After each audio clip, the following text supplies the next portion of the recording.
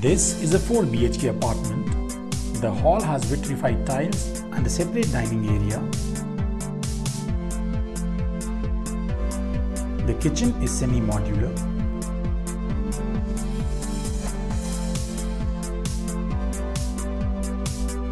The master bedroom has wooden flooring with a cupboard and attached bathroom.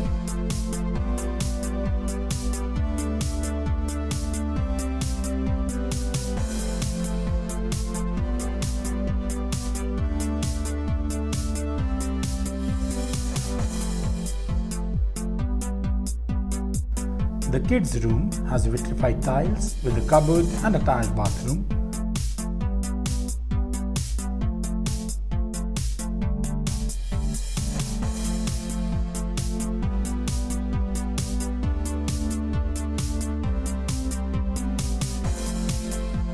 The guest room has vitrified tiles, a cupboard and an attached bathroom.